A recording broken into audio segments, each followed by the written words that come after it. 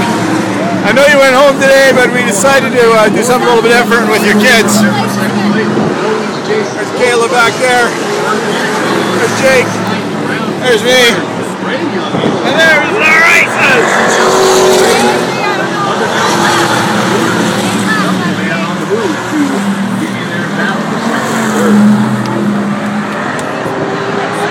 We're down in Kalispell.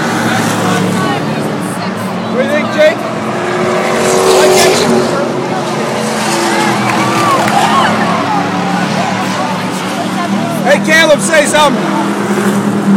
Say something. Intelligent.